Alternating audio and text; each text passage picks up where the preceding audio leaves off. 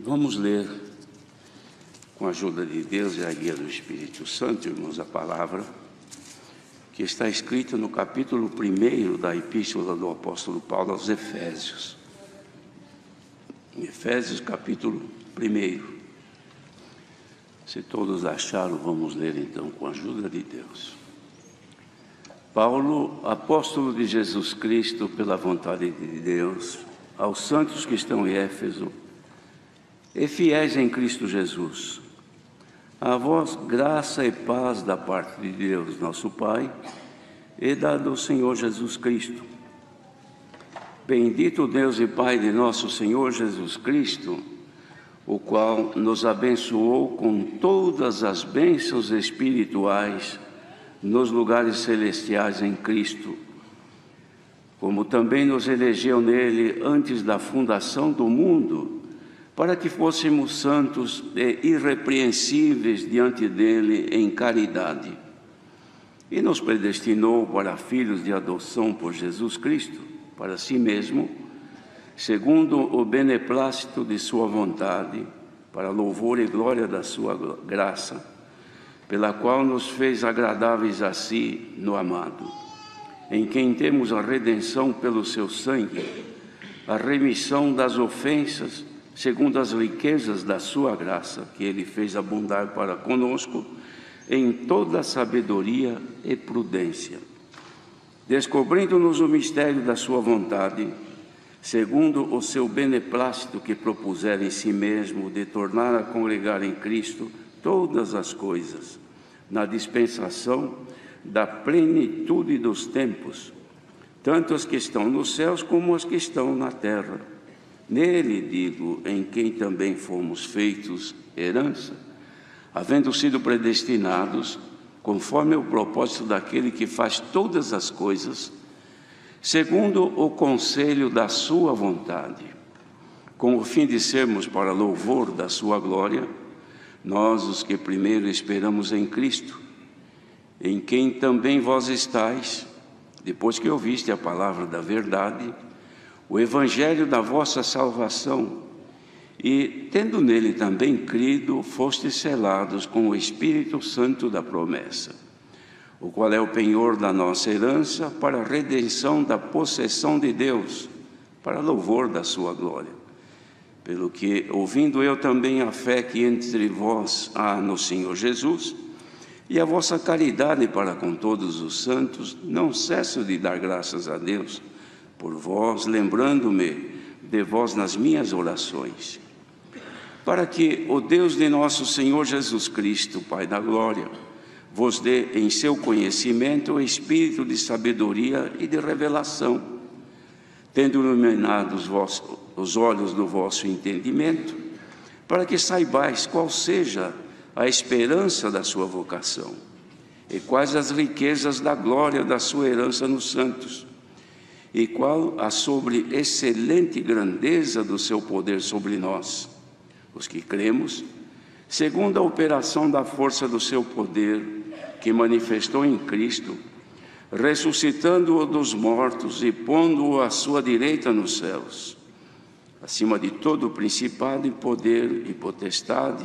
e domínio, e de todo nome que se nomeia, não só neste, neste século, mas também no vindouro e sujeitou todas as coisas a seus pés, e sobre todas as coisas o constituiu como cabeça da igreja, que é o seu corpo, a plenitude daquele que cumpre tudo em todos. Amém. Queridos irmãos, Paulo aqui, primeiro ele faz aqui esta saudação aos irmãos de Efésio, de Éfeso, e desejando a eles graça e paz da parte de Deus nosso Pai e da parte do Senhor Jesus Cristo. Uma saudação, irmãos, que descreve a maior riqueza que a pessoa pode alcançar. Agraciado por Deus e também em paz com Ele. Quando a graça de Deus alcança uma pessoa, é porque os olhos de Deus se agradaram dela. E naturalmente há um, uma aceitação de Deus. Logo então existe paz entre Deus e a pessoa. Porque se não houver esta paz, não pode haver a comunicação de Deus com a pessoa. É como quando aparecem duas pessoas que se não têm amizade, ao contrário, não desejam estar perto uma da outra. Então, ainda que haja algum favor, mas o favor vem sem aquela aproximação de paz. Faz o favor porque a pessoa está precisando, mas não porque tem paz com ela. Mas aqui é diferente. Favor de Deus, com a paz de Deus que toma o ser humano e ele sente liberdade de estar perante o Senhor. É a coisa mais difícil que existe para os irmãos, para os crentes, é não ter paz com Deus. Ainda que alcance favor do Senhor, mas não consegue estar bem com o Senhor porque a paz se desfez por algum delito, por algum mal que cometeu, por algum acidente que ocorreu na vida espiritual. Recebeu o favor de Deus, mas não está em paz com Deus. E aquele desejava então que a paz de Deus, da parte de Jesus Cristo, tomasse os corações daqueles irmãos de Éfeso. E é o que o Senhor sempre também transmite a todos nós a graça. Quer dizer, a abertura da porta da misericórdia e dos favores de Deus e também da, da nossa comunhão com Ele. Aí ele faz aqui, irmãos, uma exposição tão maravilhosa. Ele bendiz a Deus por haver abençoado em Cristo o povo, a irmandade, com todas as bênçãos espirituais nos lugares celestiais em Cristo. Ele bendizia a Deus por isso, por o Senhor ter derramado sobre o povo as bênçãos espirituais, que era exatamente o agraciamento de Deus na paz com Ele. E também por haver feito a eleição, ou seja, a escolha de cada um de nós, nele, para com o motivo que fôssemos santos e sem necessidade de sermos repreendidos diante dele em amor. E também pela predestinação que ele fez, ou seja, antes de nossa existência, já definiu um destino, cujo destino é a volta de nós para juntos dele segundo o beneplácito da sua vontade, ou seja, segundo a sua boa vontade, o seu querer que ele teve, com a finalidade de fazer-nos para louvor daquilo que é dele, sendo nós agradáveis a ele, ou seja, ele tem prazer, é tão bom quando se encontra duas pessoas que entre si são agradáveis, sente-se agradada a pessoa de receber a presença desta pessoa amiga porque estão bem. E isto é tão bom quando há, irmãos, em Jesus Cristo, esta forma de sermos agradáveis a Deus, de sermos queridos por Ele, dele ter prazer de que nós nos aproximemos dele. Isto, irmãos, não tem preço. E ele diz aqui também que fez abundar para conosco em toda sabedoria e prudência e descobrindo o mistério da sua vontade, que estava escondido isso, ninguém sabia lá nos céus. Segundo a boa vontade que ele tinha proposto em si mesmo, Deus em si mesmo, sem ninguém saber, porque era mistério. Se é mistério é porque está oculto. Ele fez uma proposta em si mesmo de tornar a congregar em Cristo todas as coisas, porque não estavam congregadas todas as coisas. Estava congregado com ele a família que estava com ele, que está na sua glória eterna nos céus. Isto sim, porque congregar é reunir, é unir. Nós estamos aqui juntos, estamos congregados. Aqui está a congregação reunida. Então o que, que ele fez? Ele propôs este mistério, depois contou, manifestou depois, de tornar a congregar nele, na pessoa do seu Santo Filho Jesus, outra vez os povos, porque com ele estava e está congregada a família nos céus. Mas aqui na terra não, que ele tinha feito o homem à sua imagem e semelhança, para poder estar junto dele, mas separou-se por causa do pecado. Agora ele faz então este novo propósito. Pegou e predestinou, escolheu, denominou já cada um e já definiu a vida de cada um. Nesta predestinação, e enviou Jesus para tornar então a trazer de volta para ele. Na dispensação da plenitude dos tempos, isto é, irmãos, dispensar a plenitude é completar o que falta. Plenitude é uma coisa plena, completa, perfeita, que não falta nada. Na dispensação, ou seja, no tempo que ele ia abrir os céus e mandar de lá para completar o que falta nesta família aqui neste planeta Terra, para preparar para poder receber com ele na outra família lá nos céus. Este é o trabalho de Deus que Paulo estava dizendo aqui. Que era tanto os que estão lá nos céus, que ele preparou para nos receber, como também os que estão na terra, que somos nós. Que estão sendo preparados para sermos aceitos no céu. Nele, dizia Paulo, digo, em quem também fomos feitos herança. Então nós somos herança de Deus. Ninguém abre mão de herança, irmãos.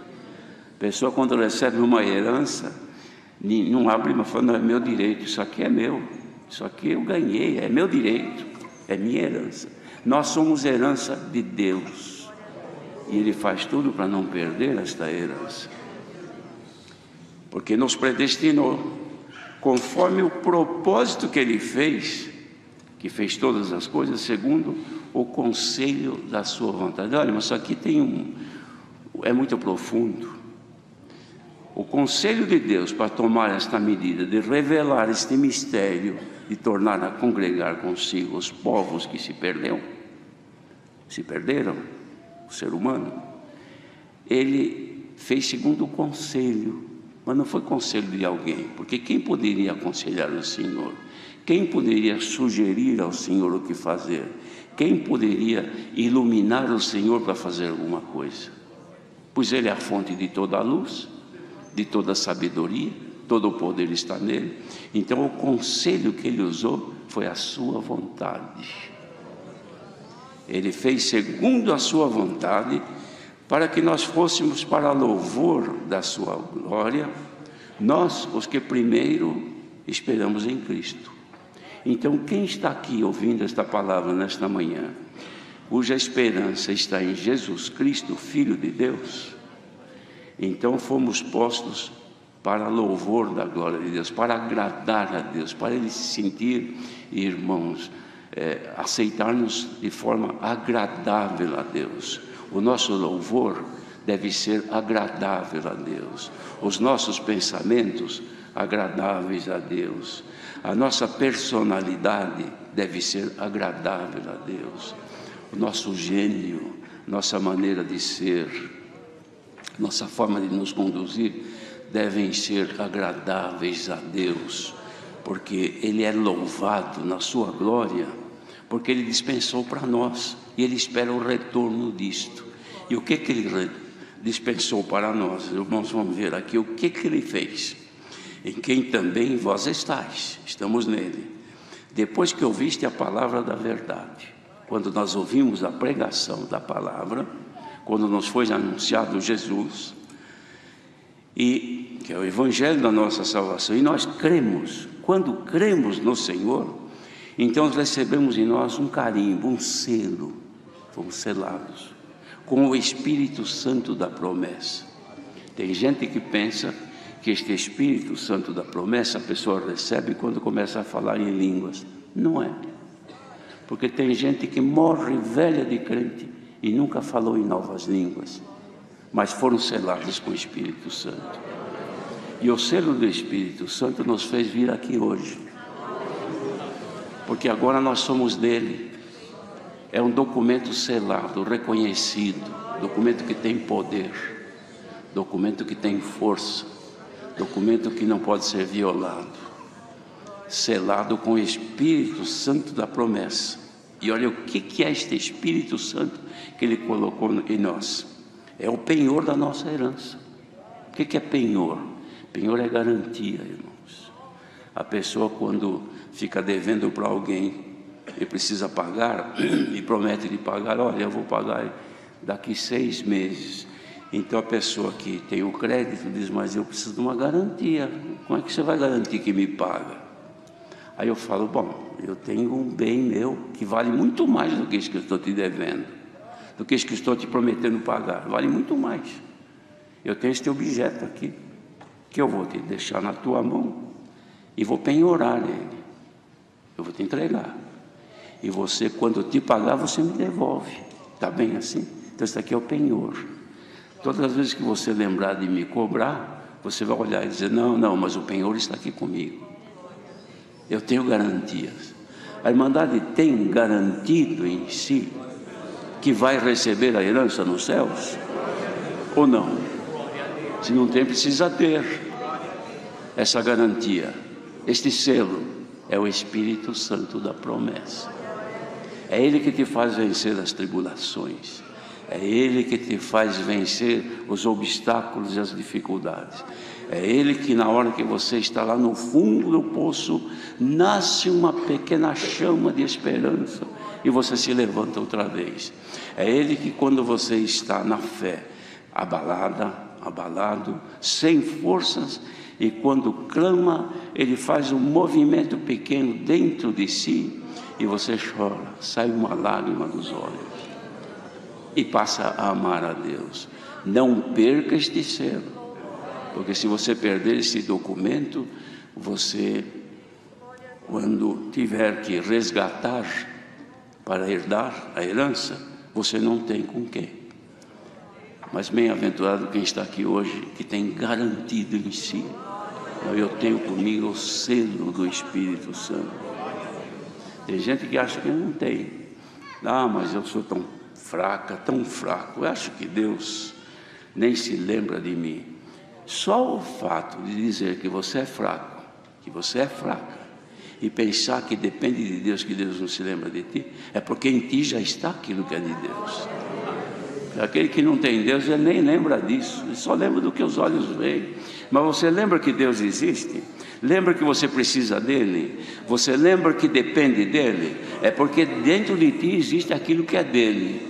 E aquilo que é dele é o Espírito Santo da promessa, que vem lutando para te ajudar a não ser vencido pelo pecado. Bendito seja o Senhor. Então, Paulo diz assim: então eu ouvindo a fé que está em vocês, aí em Jesus Cristo, e a caridade que vocês têm, eu não cesso de dar graças a Deus por vós lembrando de vocês nas minhas orações. E peço para Deus e nosso Senhor Jesus Cristo que dê em seu conhecimento o espírito de sabedoria e de revelação. Ele pedia isto. E esse pedido está de pé, irmãos. Que o Senhor nos dê o espírito de sabedoria e de revelação. Isto é o dom de conhecer, pelo conhecimento de Deus em nós, ser para nós transmitida a sabedoria e o conhecimento e a revelação, entender os mistérios que nos fazem ser chamados filhos de Deus. E hoje, por esta palavra, ele diz, porque ele dizia assim, porque ele iluminou os olhos do vosso entendimento, para que vocês saibam a esperança que vocês têm nessa vocação e também conhecer as riquezas desta herança que existe. Crente, quando desconhece, irmãos, a riqueza que tem desta herança que alcançou em Cristo, ele não dá valor. Mas quando ele conhece a sobreexcelente grandeza deste poder de Deus que está em nós, nós os que cremos, segundo a operação do seu poder que manifestou em Cristo, ressuscitando a ele dos mortos, que colocou Deus a ele na sua direita, esse poder está em nós. Olha, irmãos, o poder de vencer as dificuldades deste mundo não é nada, isso aqui é coisa, é pequeno, porque o poder que está em nós é superior a isto. O poder que está em nós é superior às tentações que chegam. É só clamar pelo sangue do Senhor Jesus, a tentação cede, vai embora. O adversário, irmãos, ele respeita um filho, uma filha de Deus, que nele está o, o selo do Espírito Santo. Porque não pensa, os irmãos vejam, para o, adversário tocar em Jó, precisou ser permitido por Deus. Deus falou: tá bom, vai lá e mexe na carne dele, mas não toque na sua alma. Então, irmãos, o adversário, para nos vencer, ele precisa lutar muito e nós é que precisamos ceder. Se nós não cedermos, deixa ele que lute. Você chora, você geme, derrama lágrima e lamenta, mas não é vencido, não é vencida, porque o poder dele está em ti. Mas isso não é nada. É coisa pequena da vida. O maior poder que está em cada homem que está ouvindo aqui, cada mulher que está ouvindo aqui, pelo selo do Espírito Santo, está na hora que a morte chegar e jogar teu corpo na cova do cemitério. Matou, levou embora. Acabou. O fulano já era. Morreu, foi enterrado, ficou na história, se fez história. Se não fez, já já se esquece. Mas não é isso. É que ele caiu lá no buraco, foi sepultado, a terra vai comer. Mas ele o poder que está nele está esperando a hora do Senhor dizer: agora, pode vir.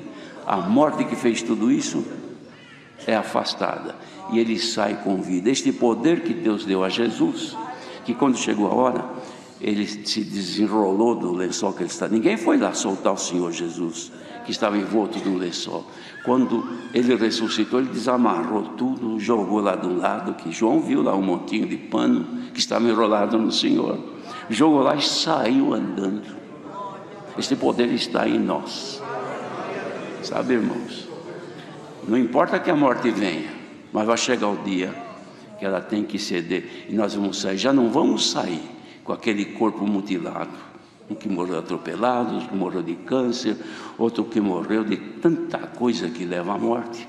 Mas isso aí é aqui, é no corpo terreno, é coisa da terra. Mas a hora que você subir, a grandeza de Deus revelada em Cristo vai aparecer em ti um ser para viver a eternidade. Não vai ser mais mulher, não vai ter corpo de mulher, não vai ter esse corpo de homem, porque um tem uma perna ruim, outro tem um braço, outro é cego de um olho, outro manca, outro geme. Nada disso é perfeito como o corpo de Cristo. Existe favor maior do que este?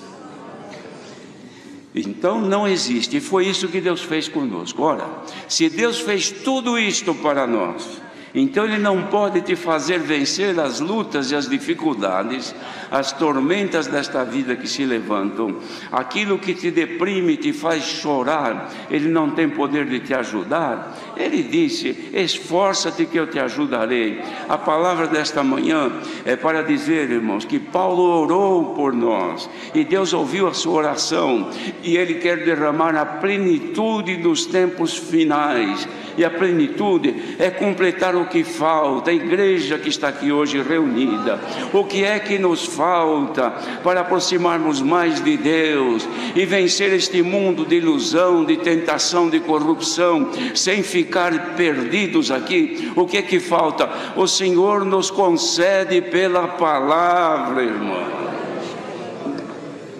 Não sejamos vencidos pelas tentações, não sejamos vencidos pela imprudência da nossa vida, não vamos ser vencidos por aquilo que o adversário levanta para nos jogar por terra. Levantemos a nossa cabeça e vamos olhar além do véu, mais para frente um pouco, lá está a nossa redenção. Ninguém vai roubar a nossa coroa, ninguém vai tirar de nós a nossa herança. Glória ao nome do Senhor. Saiba, irmandade, ouvindo esta palavra, que temos garantido para nós um futuro de glória na plenitude dos tempos. Será que não está chegando o tempo da dispensação da plenitude, irmãos? Dispensação é abrir. A pessoa chega na torneira, faltou água, então abre a torneira, irmãos, com a sede, põe lá o copo embaixo e começa a pingar água. Meu Deus, estou morrendo de sede e não sai água. Será que não tem alguém que pode abrir o registro? e dispensar água, que eu estou morto de sede. Está chegando o tempo do Senhor abrir o registro, a dispensação e começa a soltar o que é dele. Para quem? Para os eleitos, para os santos, para os amados, para os que são selados. Igreja selada, que em ti está o Espírito Santo, põe-te em comunhão, porque o Senhor quer dispensar o que é dele. Santo é o Senhor. Olha, irmãos, a dispensação de Deus nos tempos fez com que a ciência, Deus abrisse a torneira da ciência.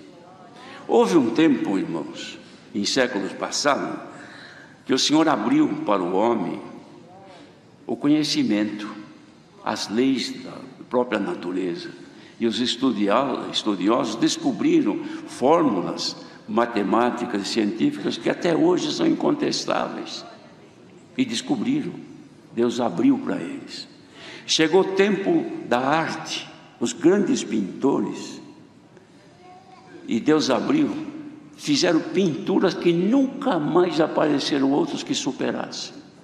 Era Deus que manifestou no homem, abrindo a ciência que está dentro da cabeça do homem escondida. Deus abriu. Depois veio a música.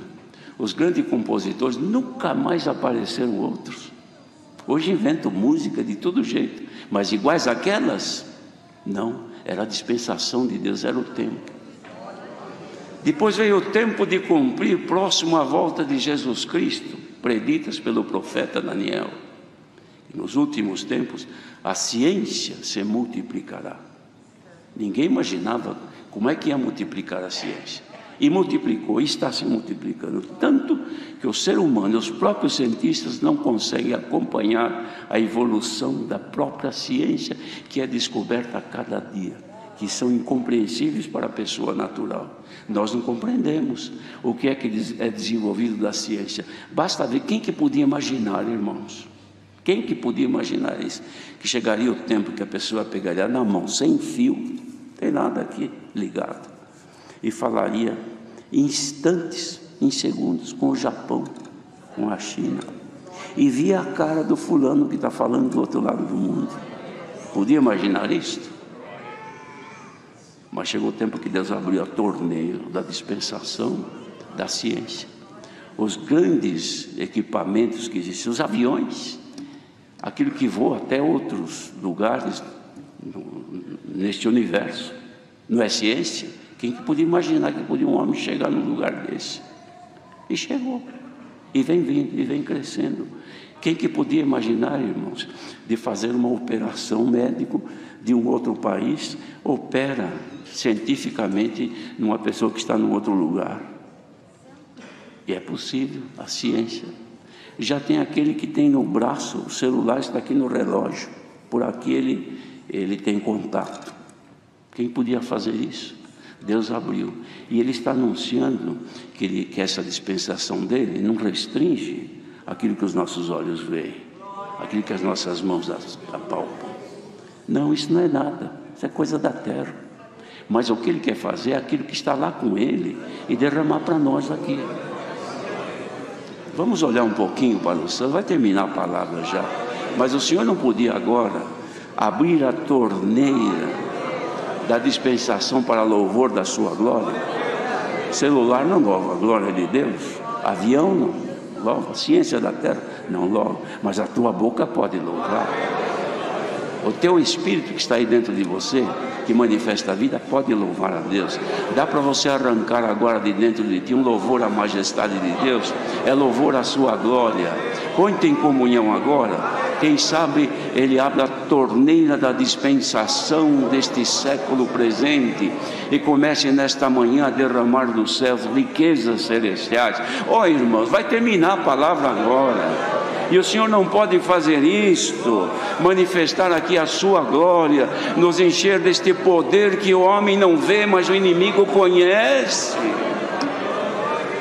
Fazer uma mulher santa no olhar, santa no viver, homem santo no seu viver, no seu falar, homem que onde passa fica o cheiro de Jesus Cristo. O mundo não conhece, mas o adversário sabe, que sabe que o perfume de Cristo está em ti, servo de Deus, em ti, serva de Deus. Você gasta um dinheirão para comprar um perfume importado para que o teu corpo tenha aquele odor agradável. O Senhor quer derramar sobre ti agora um cheiro que vem lá do céu, é o cheiro de Jesus Cristo. Receba agora nesta comunhão, esta glória que desce dos céus, ela vem e manifesta em ti, e Deus recebe o teu louvor no céu. Bendito seja Deus. A Deus e Pai de nosso Senhor Jesus Cristo, que nos fez dono de uma herança que jamais se pode imaginar. Guardemos, irmãos, porque quem perde sabe quanto perdeu. Mas nós que estamos aqui hoje, ainda há um fiozinho de esperança. Conserva-te fiel ao Senhor, e Deus nos enriquecerá daquilo que é do alto. Deus seja louvado. Vamos agradecer a Deus em oração.